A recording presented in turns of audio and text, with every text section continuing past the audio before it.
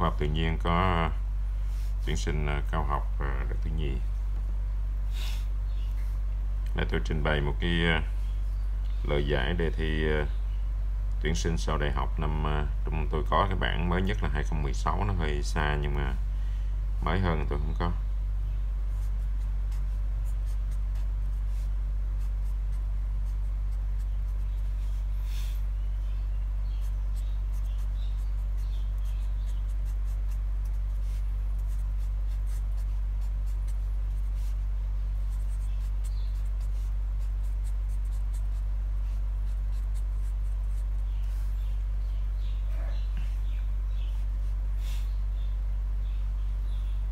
môn uh, toán cao cấp A1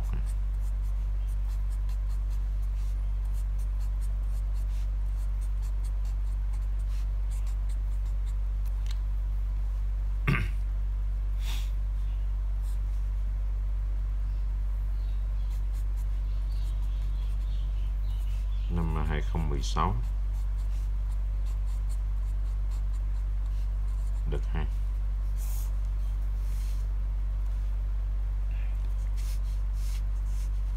đề nó hơi mờ B1 yeah.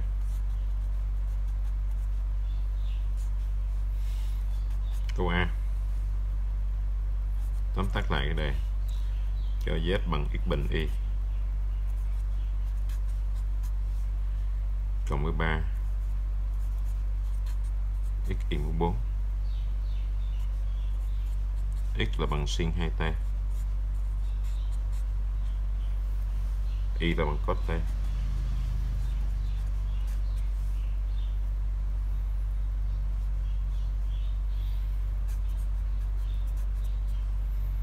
tính à, đạo hàm riêng của à, tính đạo hàm của z theo biến t.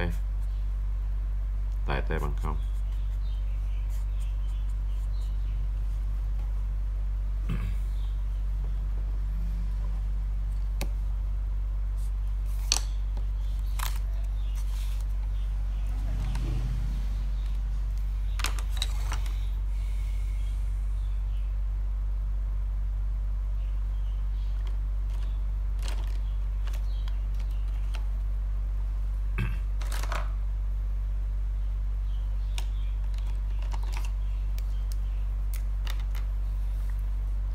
đề này nó thuộc cái ờ, dạng gì?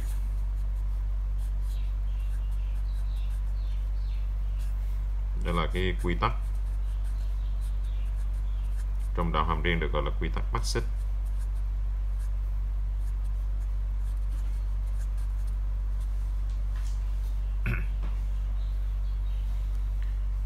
Bây giờ ở đây nó thuộc cái dạng là z, theo hai biến xy và x thì theo biến t. Và y cũng theo một biến là t.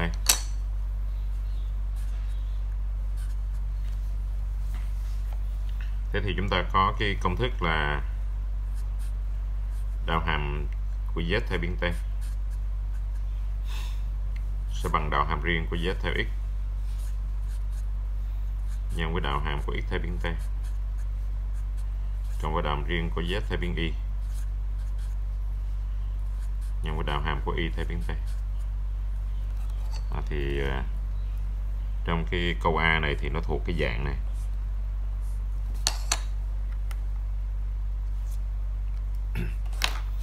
Và như vậy các anh chị áp dụng cái à, công thức đó để chúng ta xử lý bài.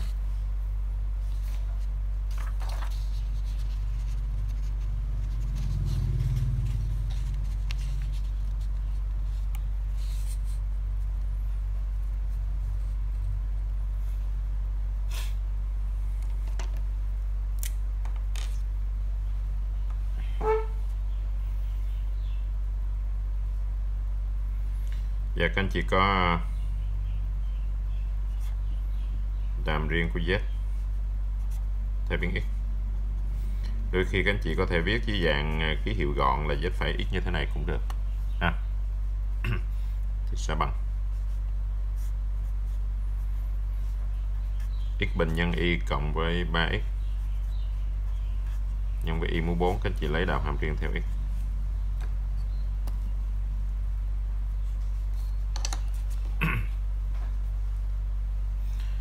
làm riêng theo x thì chúng ta nhớ là mình xem y là hàng số trong quá trình tính này chúng ta xem y như là hàng số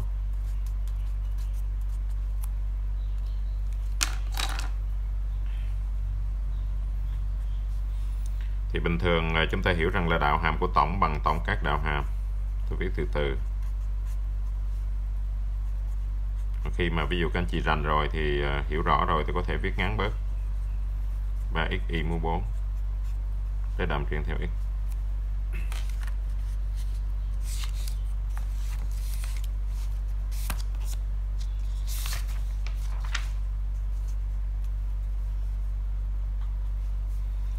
Xem y là hàng số cho nên y đưa ra ngoài. Còn lại là x bình lấy đào hàm theo x. 3 y mũ 4 cũng là hàng số đưa ra ngoài đi. Bên trong còn lại là x lấy đạo hàm theo x. X bình đạo hàm rõ ràng là 2x 3 y mũ 4 x lấy đạo hàm rõ ràng là 1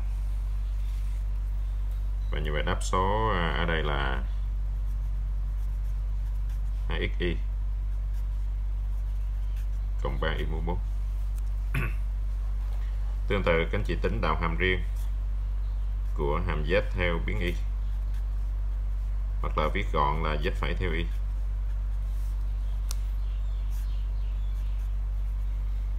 X bình nhân y cộng với 3x nhân với y mũ 4 lấy đàm riêng theo y.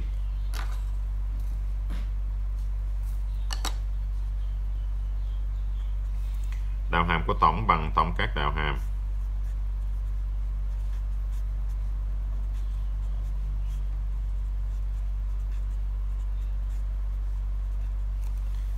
rồi ở đàm riêng theo y thì các anh chị chú ý là mình xem x là hằng. Trong quá trình tính mình xem x là hằng.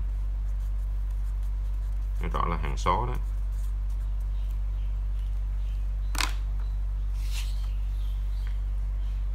Cho nên bây giờ chúng ta đưa hằng số ra ngoài. Như vậy x bình đưa ra ngoài đi. Bên trong còn lại là y lấy đạo hàm theo y. Số hàng sau là 3x đưa ra ngoài bên trong là y mũ 4 lấy đạo hàm theo y. Như vậy bằng x bình phương, y lấy đạo hàm theo y là 1 cộng với 3x đạo hàm y mũ 4 là 4 y mũ 3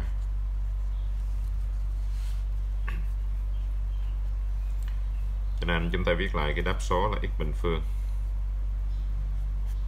3 nhân 4 là 12 x nhân với y mũ 3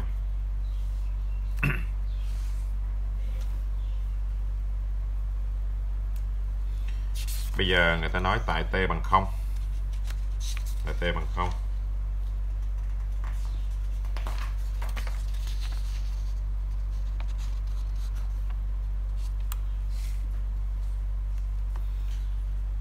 tôi làm dấu sao để ý là t mà bằng 0 kéo theo x. Bằng sin của 2 nhân với 0 và bằng 0 luôn còn y là cos của t là cos của không, là một. Lúc đó,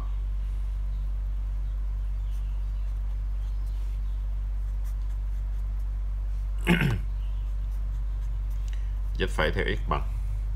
Chúng ta thay x bằng 0 y bằng 1 vào cái kết quả vừa rồi.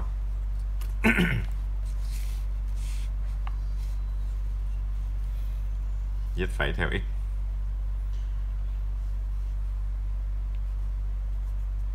2 nhân x thay với 0 nhân với y thay với 1 cộng với 3 nhân với y mũ 4 thay với 1 mũ 4 anh chị thấy là bằng 3 dịch phẩy theo y. Thay x bằng 0 y bằng 1 vào cái ờ, đáp số phía sau. Vậy là không bình phương. Còn 12 nhân 0 nhân với 1 mũ 3 rõ ràng bằng 0 luôn. Rồi.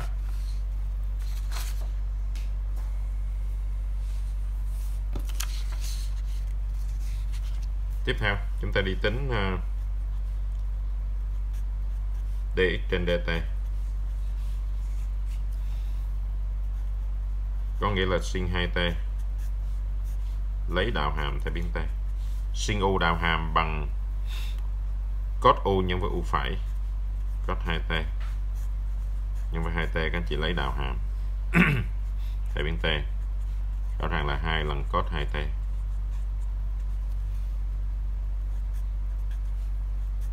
di chia dt tức là lấy đạo hàm của y theo biến t.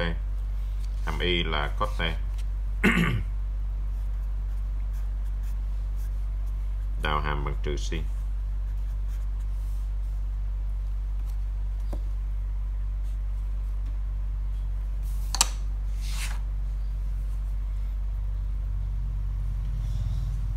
dx chia dt tại t bằng 0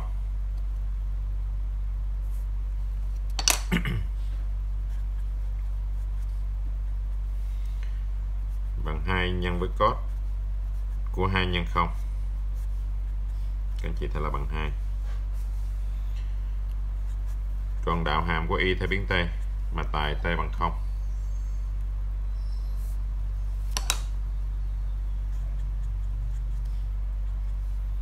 thì bằng trừ sin của 0 như vậy bằng 0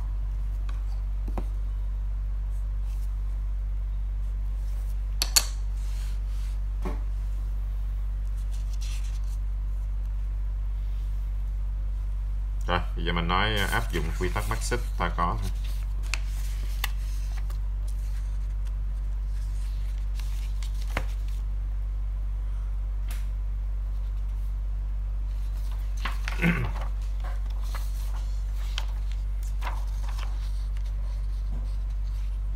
Quy tắc xích còn được gọi là quy tắc đạo hàm của hàm hợp.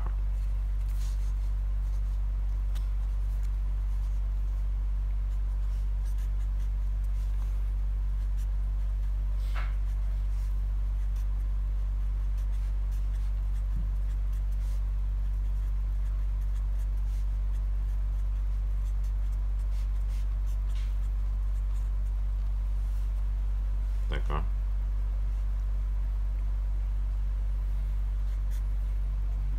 Đạo hàm của Z theo biến t.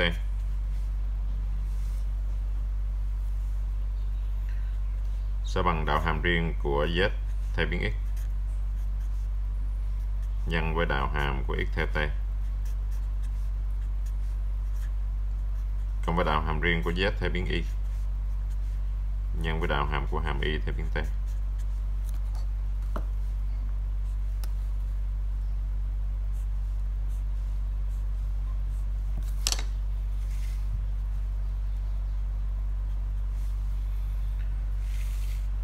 dịch phải theo x là bằng 3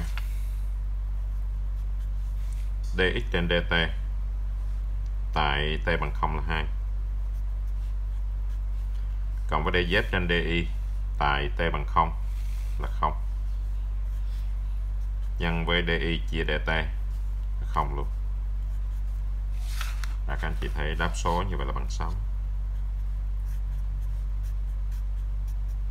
đó là câu A đây mình à, nói thêm là tay t bằng 0 2 chấm luôn.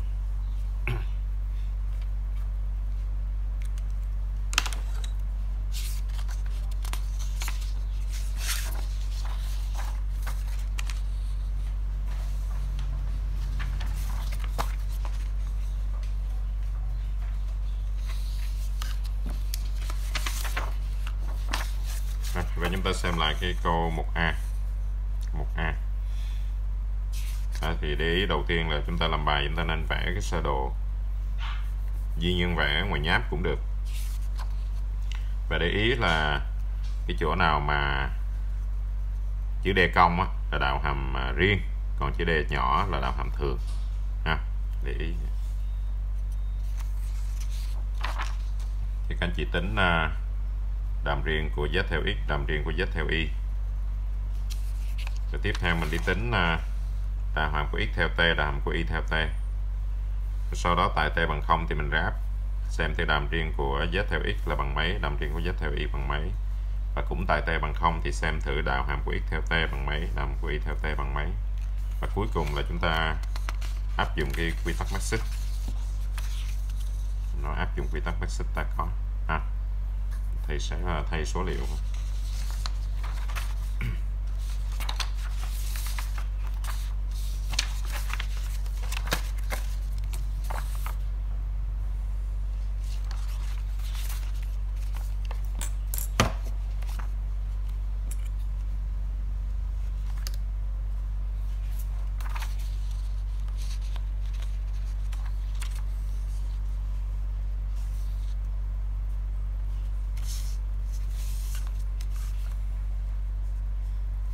mục B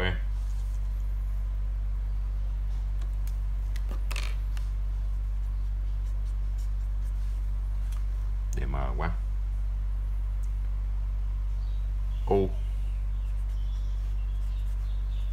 mua 4 y.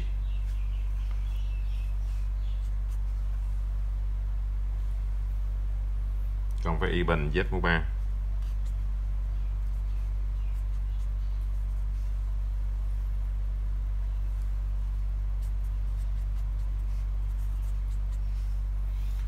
với x bằng rs a mũ t. Rs a mũ t. Y bằng rs bình phương. E mũ trừ t. Rồi z.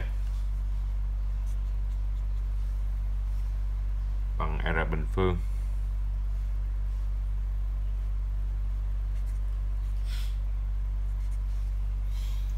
Nhân với s, nhân với sin t.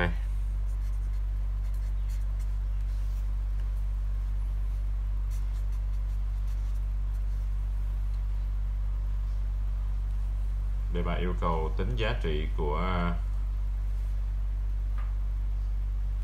du trên ds ha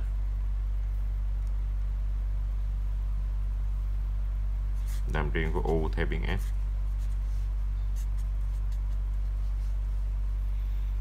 tại R bằng 2 S bằng 1 và T bằng 0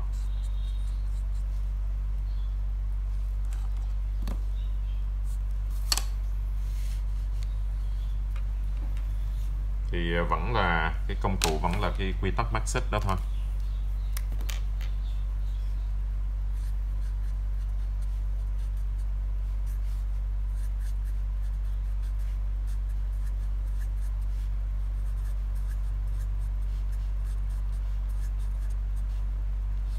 Nhưng mà cho hàm nhiều biến hơn. U. Giờ theo ba biến là x. Y z x lại theo ba biến là r s t. Y cũng vậy. R s t. Z cũng theo ba biến r s các anh chị thấy rằng à, thật ra một cách tổng quát là mở rộng cho uh, cứ càng nhiều biến cũng vậy thôi. Ha thế thì à, chúng ta để ý là đạo hàm riêng của u. Theo biến s. Thì chúng ta thấy có ba chỗ, phải không? Nhánh thứ nhất, nhánh thứ nhì, nhánh thứ ba. Thì đầu tiên là từ u qua x. Đàm riêng của u theo biến x. Nhân với đàm riêng của x theo biến s cộng với đàm riêng của u theo biến y. Nhân với đàm riêng của y theo s. Cộng với đàm riêng của u theo biến z. Nhân với đàm riêng của z theo biến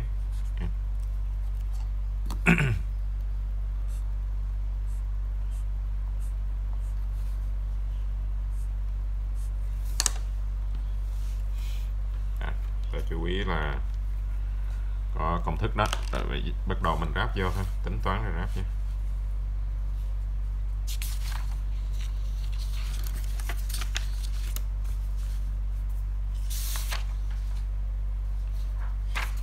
để lúc nào mình xiên gõ lại cho nó gõ lại, ha.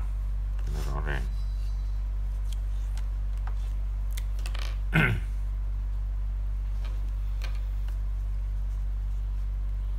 D'accord. có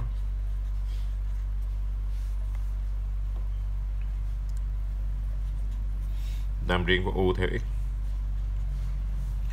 X mũ 4 đạo hàm là 4x mũ 3 nhân y.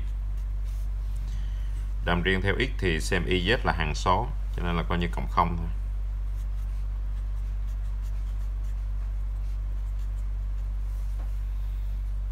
Đam riêng của u theo biến y. Xem à, uh, xz là hàng số. Y đạo hàm là một nhân với x mũ 4 là x mũ 4 y bình đạo hàm là 2y nhân với z mũ 3 tương tự u phải theo z. Xem x y là hàng số cho nên x mũ 4 nhân y đạo hàm bằng 0 z mũ 3 đạo hàm bằng 3 z bình nhân với x bình.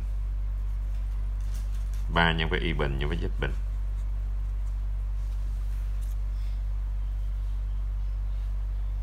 rồi và các chị tính à, đạo hàm riêng của x theo f r nhân s nhân với e lũy thừa t. Lấy đạo hàm riêng theo s. Thì xem r với t là hằng số, cho nên s đạo hàm là bằng 1 như vậy các anh chị được r nhân với, em muốn t. Rồi, tương tự. Đạo hàm riêng của u theo, của y theo s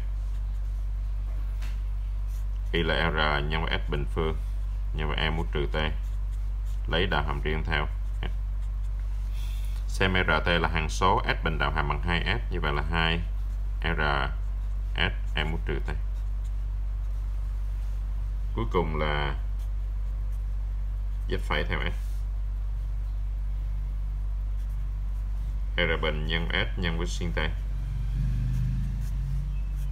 Lấy đạo hàm riêng theo S chung là các cái ờ, bài này thì nó không khó nó lắc nhắc chút thôi. S đạo hàm là bằng 1 nhân với R bình nhân với sin t lắc nhắc mà tuy nhiên là nó dễ làm bài không khó.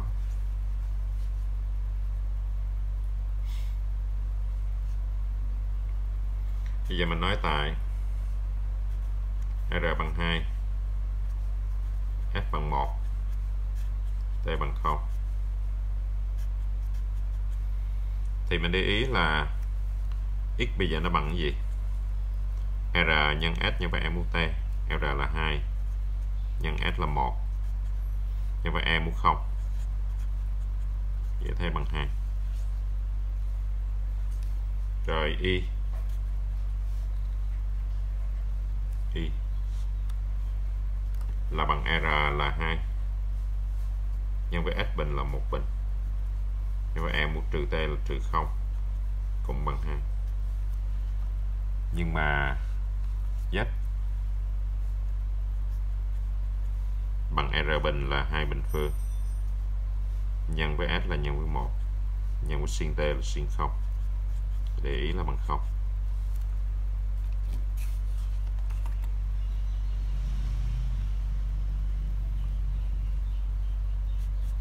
do đó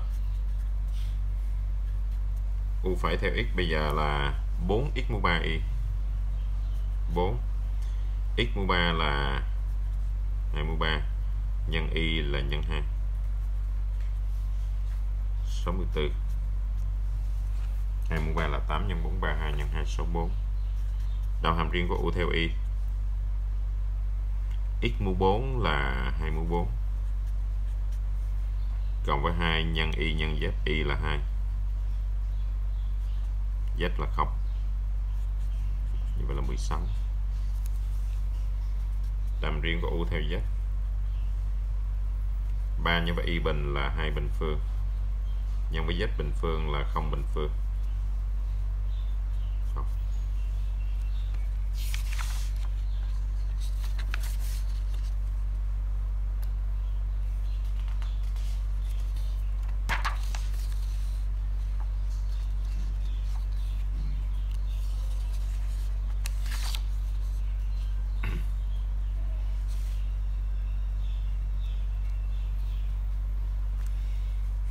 Trời, ta cũng có ờ, x phải theo s r là 2 nhưng mà e mũ t là e mũ 0 như vậy là 2 y phải theo s. 2 nhân r là 2 nhân s là 1 nhân với e mũ trừ t là e mũ trừ 0 4 z phẩy theo s là bằng r bình là hai bình phương. Nhân với sin t là sin của 0 dễ thấy bằng 0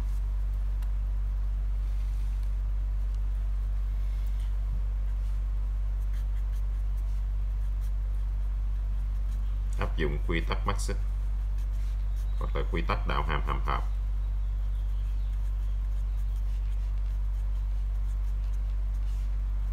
Đây có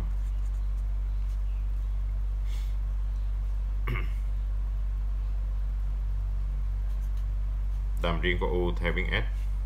Sao bằng? U phải theo x nhân với x phải theo s. Cộng với u phải theo y nhân với y phải theo s. Cộng với u phải theo z nhân với z phải theo s.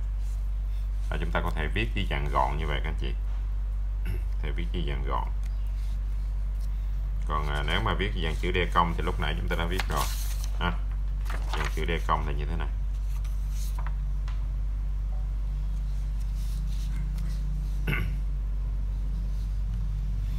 Các anh chị thấy số liệu vào. U phải theo x là 64 nhân với x phải theo s là 2 cộng u phải theo y là 16 nhân với y phải theo s là 4 cộng với z phải theo s là u phải theo z nhé. Là không.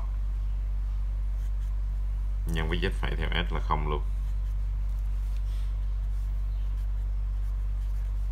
128 cộng với 64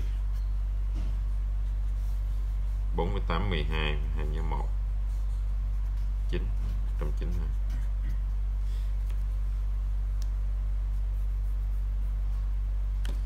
bài này các anh chị thấy là cũng dễ làm à, ha. Điều là nó hơi à, dài chút, trình bày.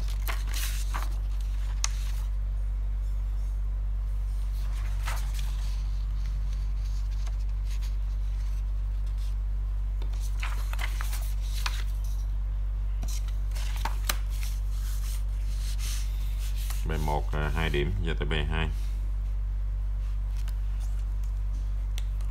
mờ quá. Hai điểm luôn. Tính diện tích của miền.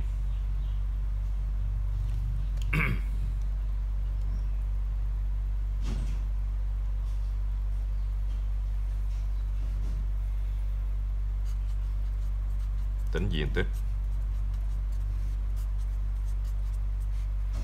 Của miền chỉ bị chặn bởi y bằng sin x y bằng cos x. X bằng 0 x bằng b chia 2 bài này à, hai điểm lần nè.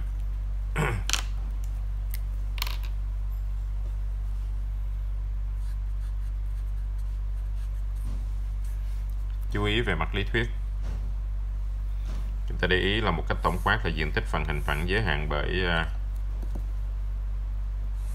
hai đường.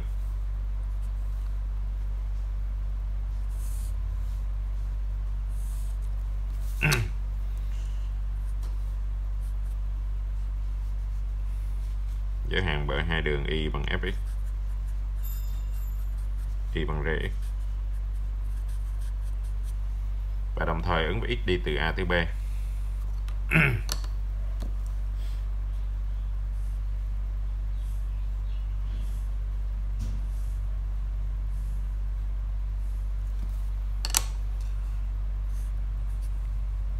Vâng, diện phần diện tích này được tính bởi tích phân từ A đến B.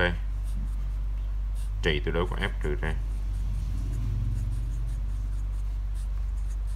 Trong trường hợp tổng quát là như vậy còn dĩ nhiên nếu mà mình đã biết cái đường cong nằm trên đường cong nằm dưới rồi thì uh, dễ rồi ha.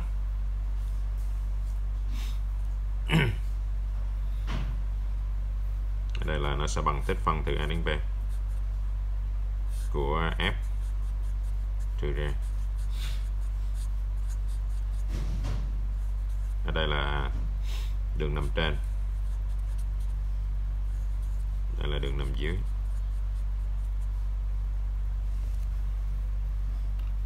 Về lý thuyết chỉ có vậy thôi các anh chị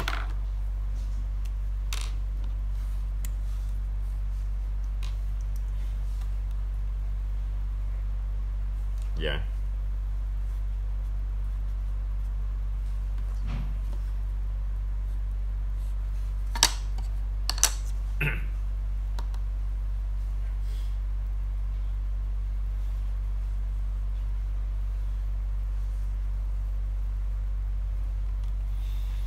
ở đây thì chúng ta có nhiều cách.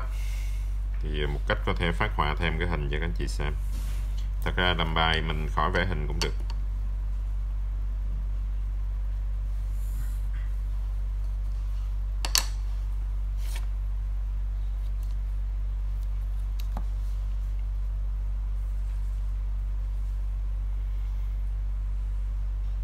Đây là bị chia 4 này bị chia 2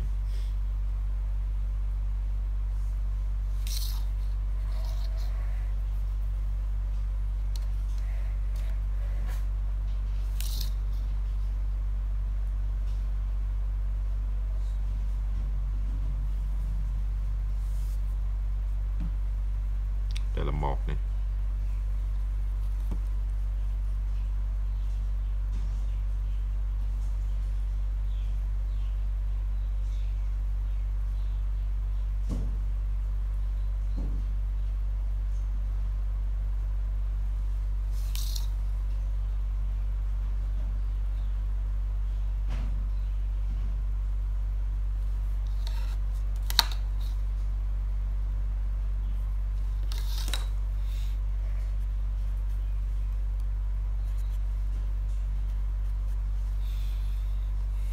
cái này là bị chia 2 bị chia 4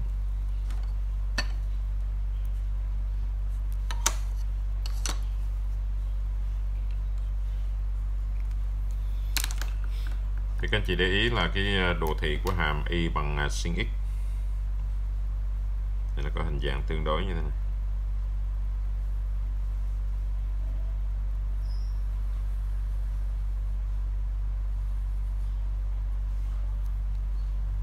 Trong đoạn từ 0 tới pi chia 2 còn đồ thị có hàm cos.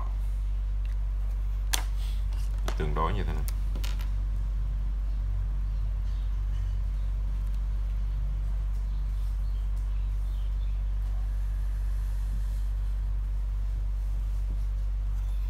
Cái giao điểm của à, hai đường này chính là bị chia 4 ta x bằng bị chia 4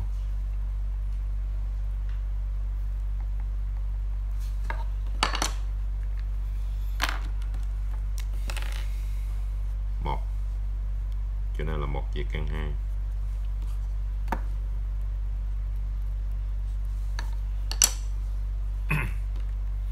rồi và phần hình phẳng mà giới hạn bởi đường y bằng sin viết thêm cái phương trình này. đây là y bằng cos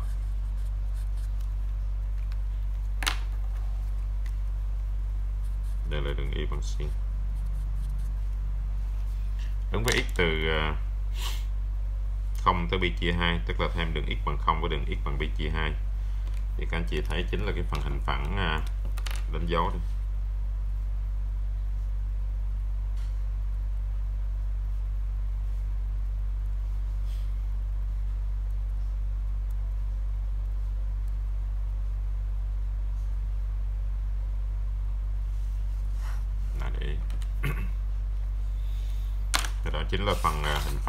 kiểm tra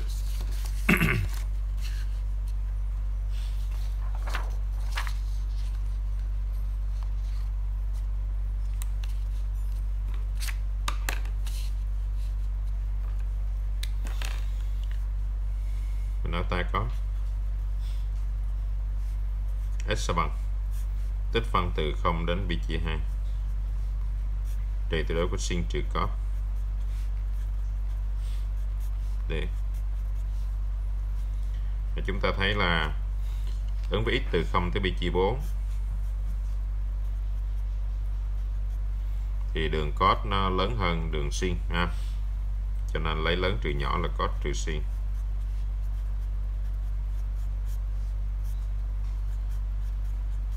Cộng với pi chia 4 đến pi chia 2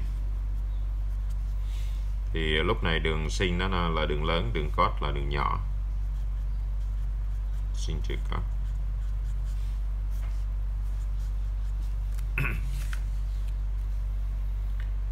một nguyên hàm của cos là sin. Một nguyên hàm của sin là trừ cos.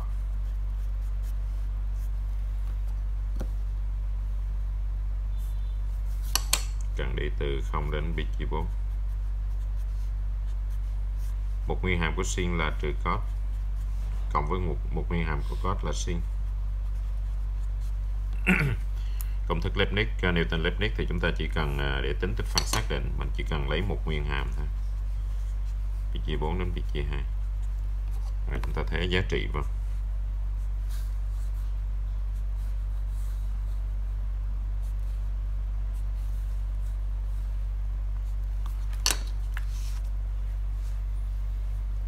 Thay x bởi cần trên. Sin pi chia 4 cộng cos của vị trí 4 trừ đi sin 0 trừ cos 0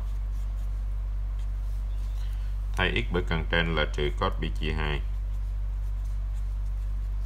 trừ sin pi chia 2 trừ đi. Trừ đi trừ là cộng thay x bởi cận dưới. Cos của pi chia 4 trừ đi trừ là cộng sin pi chia 4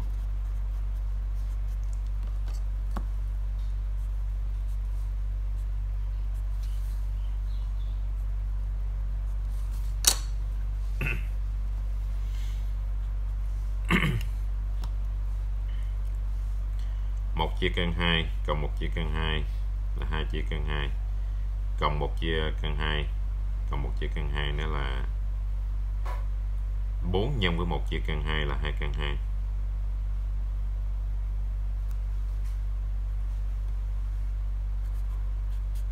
2 căn bằng 2 của 2 sin 0 thì bằng 0 cos 0 là 1 cos pi chia 2 là bằng 0 sin thì bằng 1 như vậy trừ 1 trừ 1 nữa là trừ 2 nhớ là đơn vị diện tích.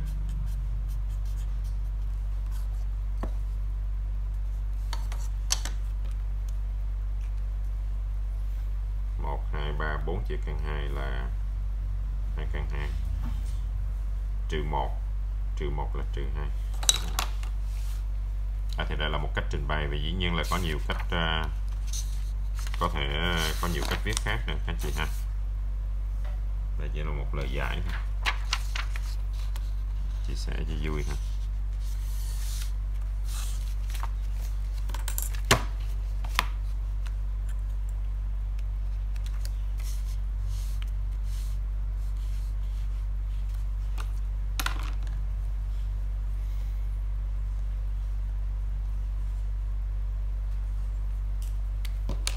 câu 3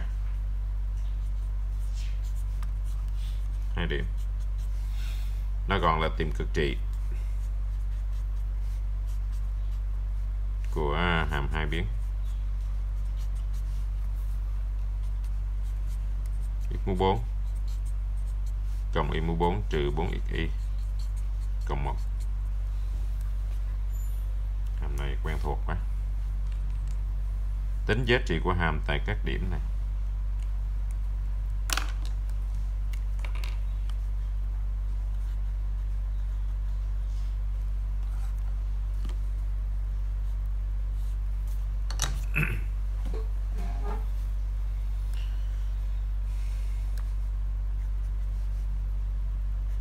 Bước 1 các anh chị tính đạo hàm riêng của hàm f theo biến x, rồi cho bằng 0 x mũ 4 đạo hàm bằng 4x mũ 3 để ý là y mình xem như là hằng số cho nên đạo hàm bằng 0 trừ 4xy lấy đầm riêng theo x là trừ 4y chị cho bằng 0 số 1 phía sau đạo hàm thì bằng 0 rồi ha. Đàm riêng của hàm f theo biến y cũng vậy. Y mũ 4 đạo hàm là 4 y mũ 3 trừ 4x y mà lấy đầm riêng theo y là trừ 4x cho bằng 0 còn số hàng đầu x mũ 4 là hàng số đạo hàm bằng 0 và 1 cũng vậy luôn rồi. Thì khi trình bày bài thì các anh chị trình bày rõ cái cách giải ra. Từ phương trình đầu rút y theo x và thế với phương trình sau. Y mũ 3 là x mũ 9 trừ đi 4x bằng 0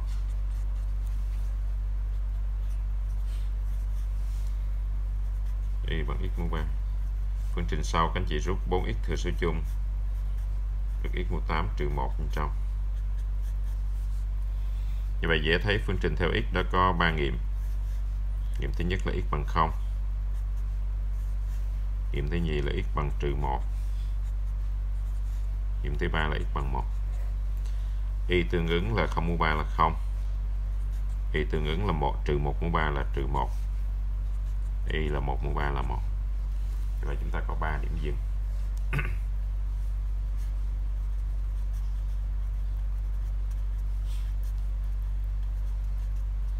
Ba điểm dừng. Dừng ở đây, ý muốn nói là dừng lại để xem xét. Bước số 2 các chỉ tính A bằng đạo hàm riêng, cấp 2 của hàm f theo biến x. 4x mũ 3 đạo hàm lần nữa là 12x bình phương còn trừ 4y đạo hàm bằng 0 rồi. B là đạo riêng cấp 2 hỗn hợp. Lần thứ nhất theo x mình đạo hàm lần nữa theo y dễ thấy là trừ 4 C là đàm riêng cấp 2 theo biến y. Cấp 1 theo y là đây cấp 2 theo y là 12 y bình phương. Còn à, trừ 4x đạo hàm bằng 0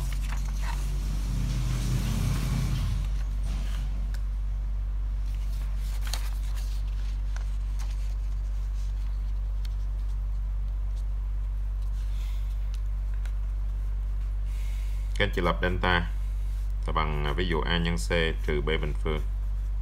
Nhiên là các anh chị có thể lập bằng b bình trừ ac cũng được. Tùy theo cái cách làm bài các anh chị. A nhân c trừ b bình như vậy là 144 x bình y bình. Trừ db b bình là trừ đi 16 trừ 4 đem bình là 16 giờ các anh chị xét tại từng điểm dừng một thôi.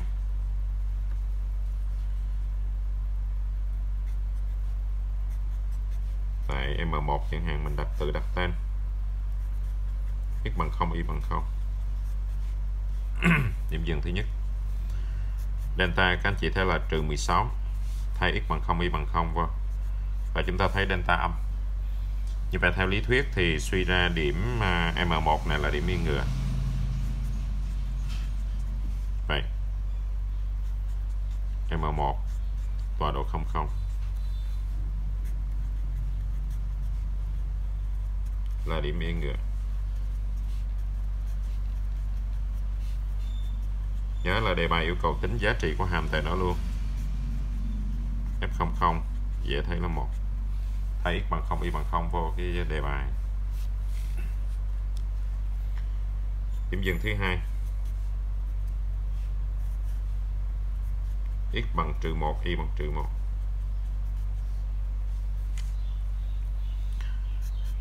delta 144 nhân với trừ 1 bình, nhân với trừ 1 bình. Là 144 trừ 16 dễ thấy là 128 các chị thấy là dương.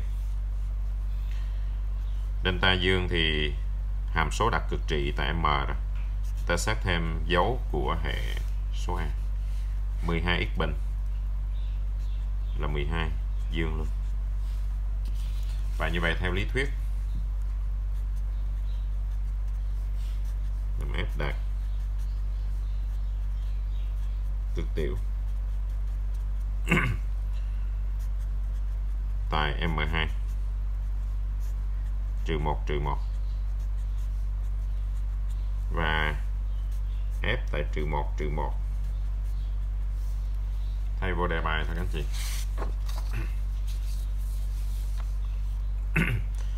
X mũ 4 là 1 cộng y mũ 4 là cộng 1 trừ 4x y là trừ 4 cộng 1 vậy thấy là trừ 1 từ 4 cộng 3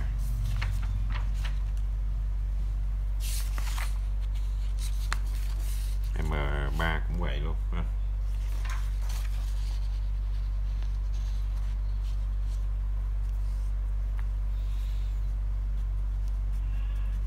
M3 x bằng 1 y bằng 1 delta dễ thấy cũng là 128 144 à, x bình đi bình trừ 16 à. 128 dương. Và hệ số A là 12 x bình cũng dương luôn là 12 dương luôn. Vậy hàm F. Đạt cực tiểu. Cực tiểu còn được gọi là giá trị nhỏ nhất địa phương nha các anh chị. M3 11 và giá trị của hàm T11 cũng vậy thôi x mũ 4 là 1 cộng y mũ 4 là 1 trừ 4x y là trừ 4 cộng 1 cũng là trừ 1 luôn. Và cái bài số 3 câu số 3 2 điểm về cực trị tự do của hàm hai biến số. Anh chị làm gì ta? Lý thuyết là tương đối dài, cho nên các anh chị tự ờ, tự xem lại khỏi trình bày ra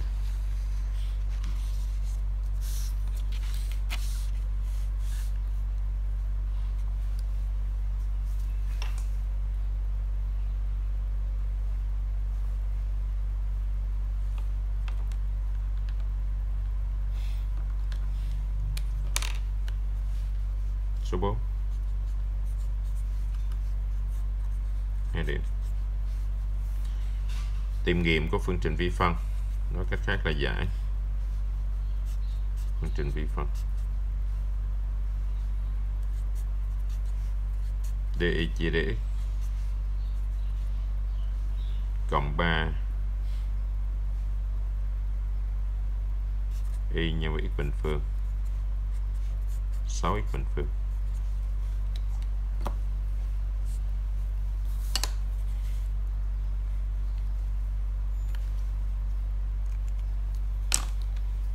thì à, dạng này chúng ta có cái chú ý.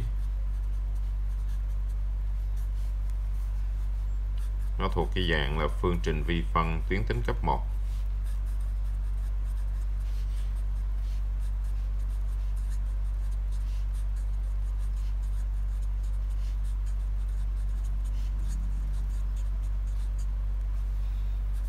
y phải cộng x nhân y bằng px thì ờ, dạng này nó có luôn cái công thức nghiệm tổng quát luôn. Có nhiều cách làm nhưng mà một cách là chúng ta áp dụng luôn cái công thức nghiệm tổng quát. Y bằng e mũ trừ tích phân của px để nhân với tích phân của q. Và e mũ tích phân của px để để cộng sai đó, thì các anh chị nhớ cái công thức và áp dụng để chúng ta xem thử cái bài này mình sẽ làm như thế nào ha. trình bày như thế nào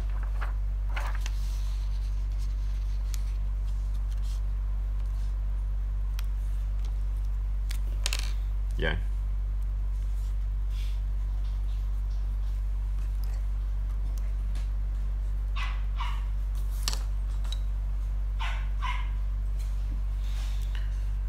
Các anh chị để ý là DI chia DX chính là y phải. Cộng với 3x bình nhân y bằng 6x bình. Cái điều này là một. Ta có một là phương trình vi phân tuyến tính cấp 1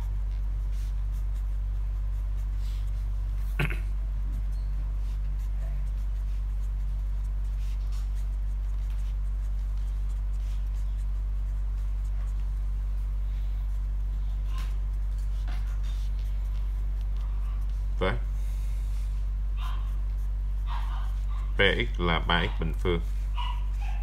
Còn qx là biệt thức có vế phải đó. 6x bình.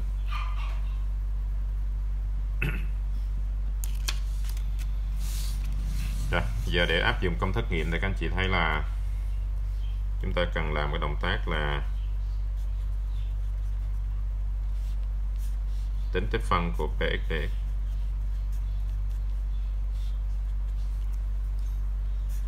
tích phân của 3x bình. Để rõ ràng là x mũ 3 đúng ra là x mũ 3 cộng c, nhưng mà ở đây chúng ta để ý là chúng ta chỉ cần chọn một nguyên hàm.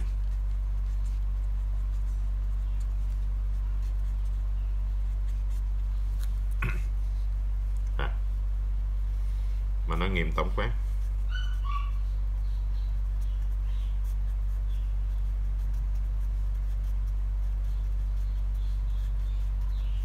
của phương trình 1 y bằng e mũ trừ tích phân của px dx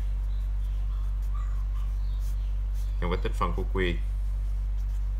Nhân với e mũ tích phân của px dx dx cộng c. Anh chị ráp vào tích phân của px dx là x mũ 3 cho nên e mũ trừ x mũ 3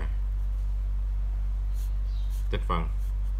Q là 6x bình nhân với a của a lũy thừa x mũ 3 để x cộng sai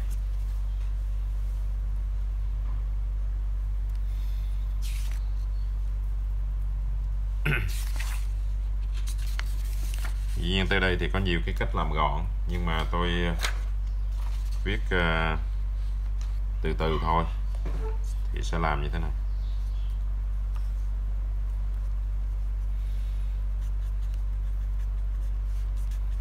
Đặt A là đi tính tích phân của 6x bình phương và A mũ x mũ 3 để mình đổi biến ha.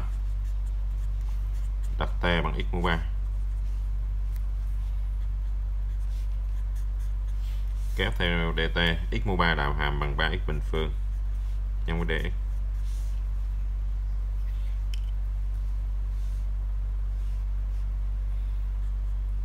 cho nên kéo theo là nhân 2 vé với 2 đi. 2 dt là bằng 6x bình dx lát nữa 6x bình dx mình thay bởi 2 dt luôn. A bây giờ bằng tích phân. A lũy thừa t. 6x bình dx mình thay bởi 2 dt số 2 đưa ra ngoài. Bên trong còn tích phân của a mũ t dt 2 tích phân a mũ t là chính nó ở đây chúng ta cũng chỉ cần lấy một nguyên hàm hoặc là mình à, cộng xe vô rồi lát mình ráp vô đây cũng được. Cũng là một cái cách làm đúng. Như vậy a bằng 2 nhân với e lũy thừa x mũ 3 mình thế vô thôi. Vậy y bằng e mũ trừ x mũ 3 nhân với. Tích phân của 6x bình nhân với a mũ x mũ 3 như vậy là hai lần a x mũ 3 cộng c. Và các anh chị có thể nhân phân phối vô luôn. Dễ thấy là 2 cộng với c nhân với a mũ trừ x mũ 3 với c thuộc r tùy x đó chính là nghiệm tổng quát của phương trình vi phân đã cho.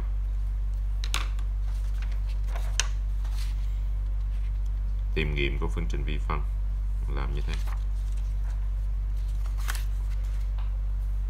Về cái nội dung ôn tập à, của à, cái môn à, toán cầu cấp 1 này các anh chị thấy nó cũng nhiều nội dung.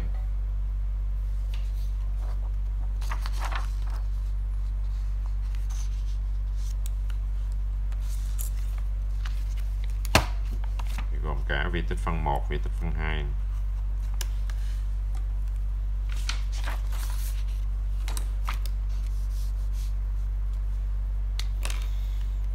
Bên 5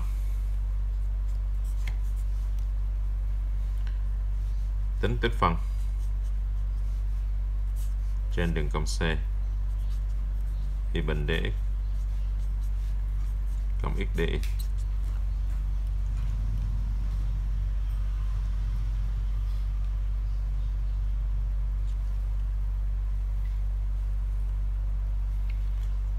câu A.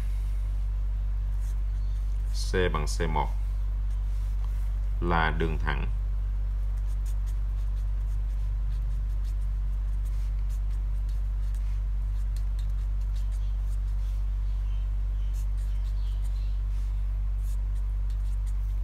Từ trừ 5 từ trừ 3 đến 02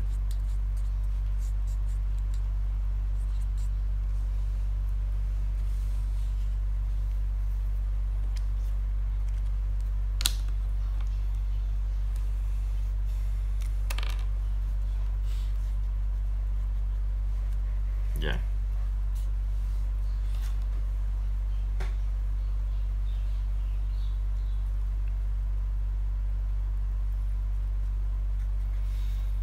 mình nói phương trình, đường thẳng delta.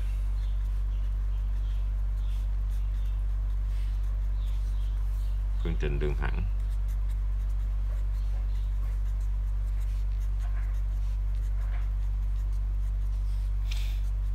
Delta đi qua. Điểm A trừ 5 trừ 3 và điểm B 02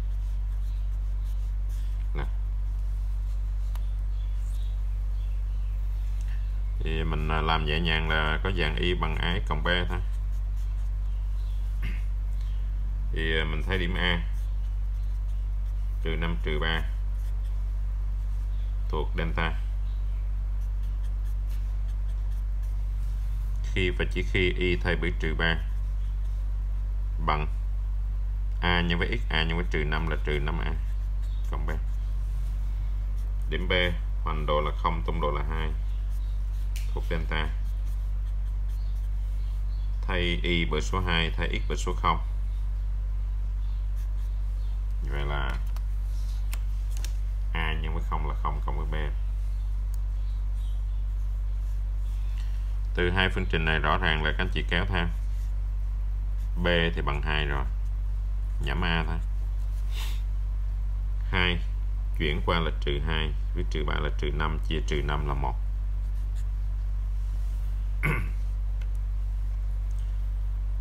về delta bây giờ phương trình là y bằng ax là x cộng b là cộng 2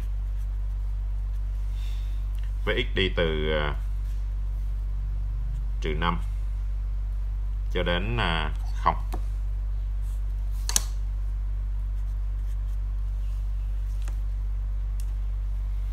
thì các anh chị để ý là DI là bằng x cộng 2 tấy đạo hàm nhân với DX như vậy là bằng 1 nhân với DX bằng DX luôn.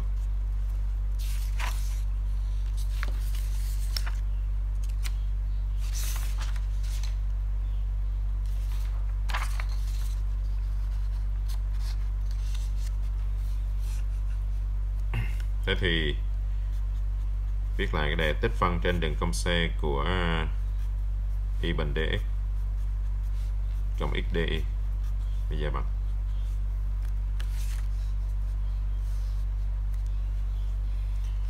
Tích phân đường loại 2 các anh chị đưa về tích phân xác định theo biên x. Tích phân từ trừ 5 đến 0 y bình dx y thay với x cộng 2 để. Cộng với x di di như vừa nói là bằng dx à, và các anh chị thấy rằng đưa về tích phân theo biên x đó. rõ ràng chúng ta nhẩm tích phân từ trừ 5 đến 0 x bình phương. 4x với x là 5x cộng 4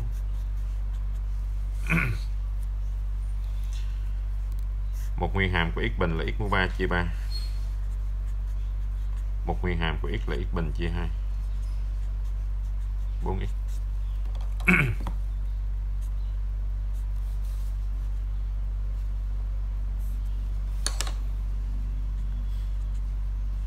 cần đi từ trừ 5 đến 0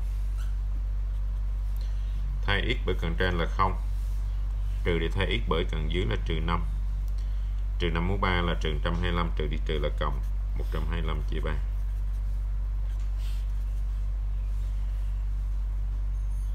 x bình, trừ 5 bình là 25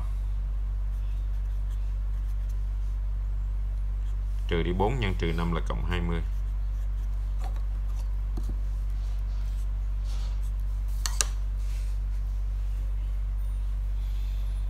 như vậy là 20 trừ đi 125 nhân với 1 phần 2 trừ 1 phần 3 1 phần 6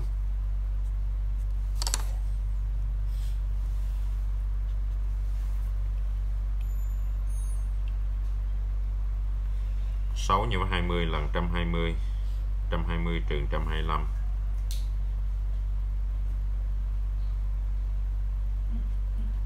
trừ 5 chia 6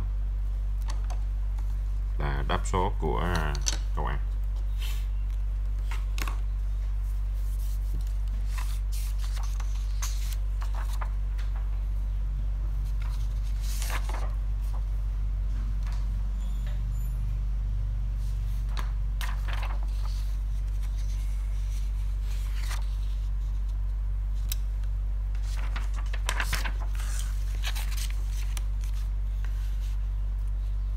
câu B.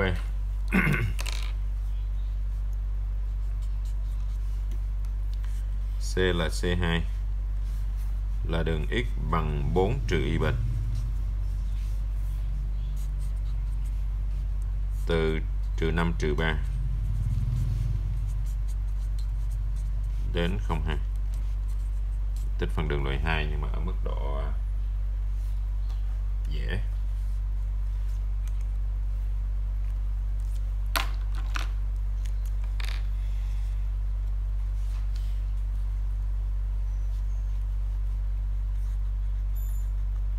Dài. X bằng 4 trừ y bình. Y đi từ trừ 3 tung độ của điểm thứ nhất là trừ 3 đến tung độ điểm thứ hai là 2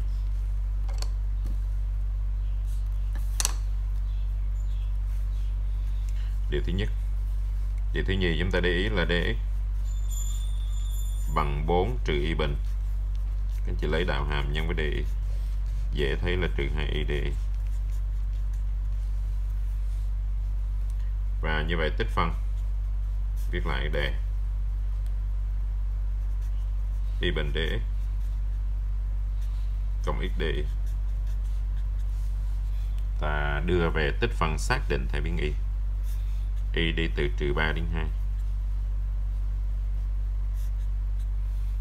y bình giữ nguyên. Dx mình thay bởi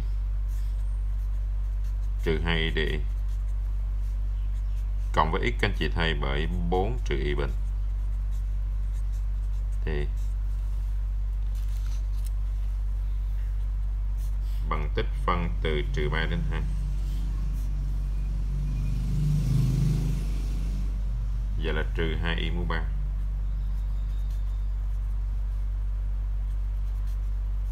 trừ y bình cộng 4 đi.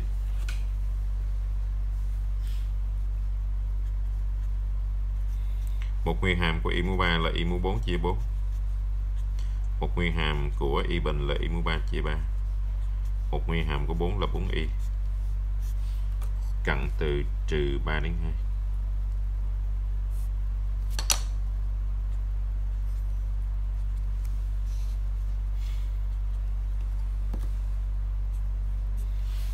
thay y bởi cận trên. 2 mũ 4 là 16 16 chia 4 là 4 4 nhân trừ 2 là trừ 8 trừ đi 8 phần 3 cộng 4 nhân 2 là 8 trừ đi trừ là cộng.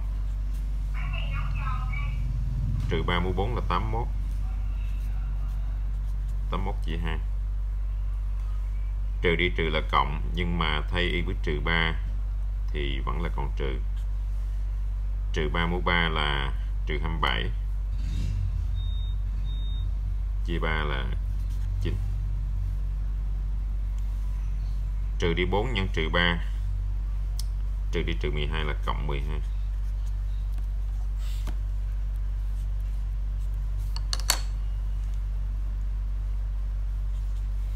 8 trừ 8 là hết.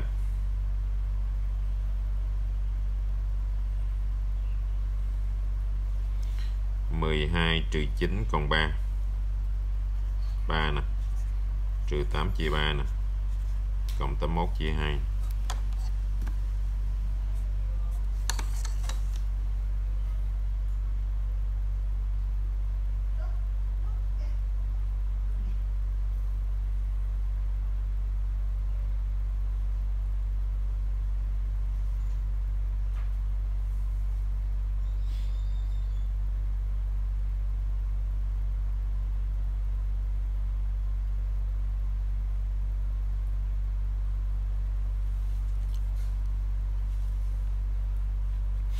một số chung là 6 6 x 3 là 18 6 thì ở đây thiếu 2 ha, trừ 16 thiếu 3 313 38 24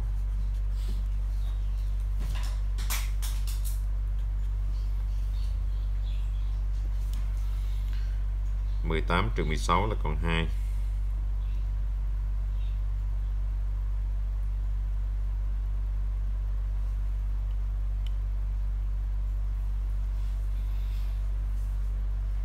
như vậy 245 chia 6 là đáp số cuối cùng.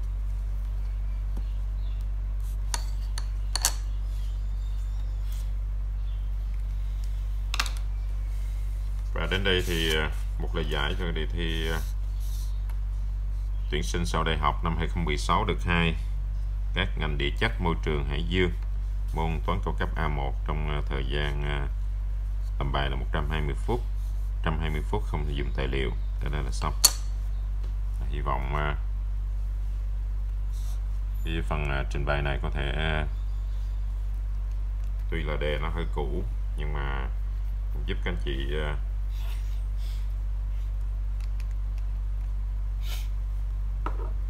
chuẩn bị cho cái kỳ thi tuyển sinh vào cuối tuần này. Chúc các anh chị mọi chuyện tốt lành.